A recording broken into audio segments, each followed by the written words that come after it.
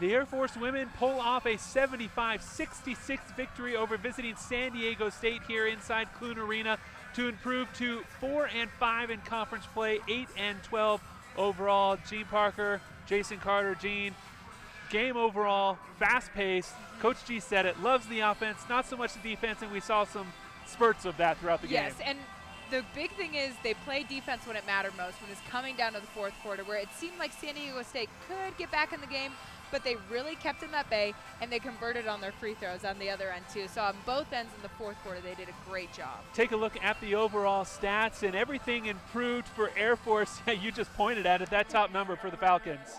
48% shooting, that's wonderful. And they had four players scoring double digits, and three of those four players were shooting 50% or above. If you're Coach G, I mean, you, you wish for that every single night. Yeah, they put up 81 the last time they were out, 75 tonight. So the offense certainly clicking for Air Force over the last week or so here in Clune Arena. As we take a look at some of the highlights from this game, San Diego State, we talked about it, had a huge height advantage, and early on they went inside a lot. This is Dornstouter with a two there as she got that bucket, and then they kick it out. Three pointer for Ramos. Ramos finished the day with just 10 points under her scoring average, so the Falcons did a great job on her. Haley Jones had a game and a half.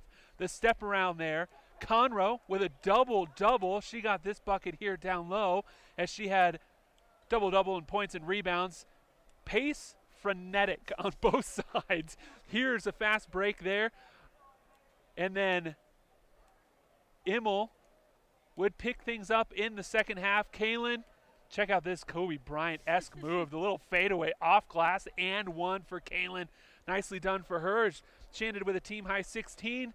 And then Riley Snyder, we have seen her do this a lot this year. Just fill it up for a period of time.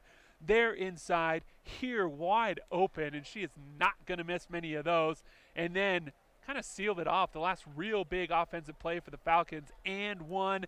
And of course, the hand raise as Air Force pulls off the victory. As we mentioned, improving to 8 and 12 on the year. They are 7 and 3 here in Clune Arena. The Falcons return to action on Saturday. They will visit Colorado State, a team they beat by 15 about three weeks ago. For the entire Falcon Vision crew and my partner Gene Parker, I'm Jason Carter. Thanks for tuning in as Air Force gets the big win this evening on the Mountain West Network.